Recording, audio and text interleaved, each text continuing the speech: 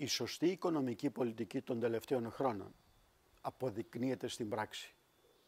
Με τη χώρα μας αξιόπιστη και σοβαρή και εν μέσω των πρωτόγνωρων παγκόσμιων συνθήκων που βιώνουμε, στέφθηκε με απόλυτη επιτυχία η δανειοδότηση του κράτους από τις αγορές. Δανειστήκαμε 1,75 δισεκατομμύρια ευρώ με πολύ ικανοποιητικά επιτόκια.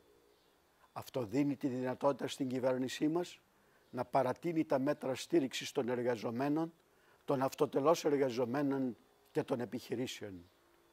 Την κρίση την αντιμετωπίζεις με σοβαρές αποφάσεις και αυτό πράττει η κυβέρνησή μας.